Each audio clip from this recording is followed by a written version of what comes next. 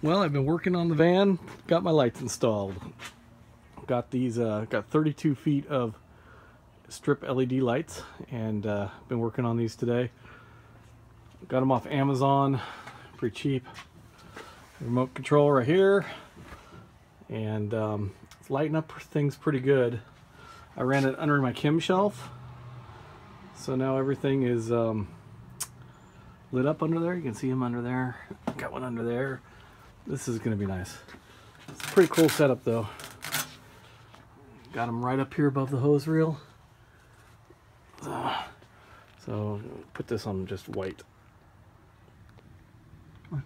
You can do it. There you go. Just white. Anyway, you can change them to any color you want. Any um, pattern.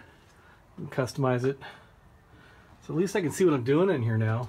This is a Sapphire 870 waiting to go to work, make some money. Anyway, at least I can see what I'm doing now. Before I had no lights in here and it sucked.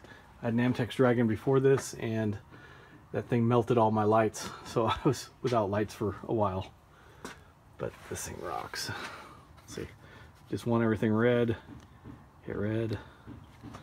Oh, no. What did I there? There's red. Want everything green. We got green. How about some blue? We got blue, sapphire scientific blue right there.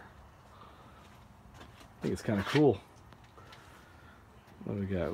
We got all these colors. Want yellow? Here we got we got yellow. A yellowish.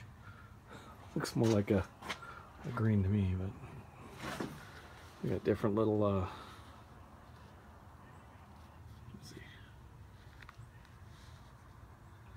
Different little light patterns it'll do. I just think that's so cool the chem shelf is lit up. I love that. I really need to get out more. Okay, anyway. That's my little project for the day. It came out pretty good.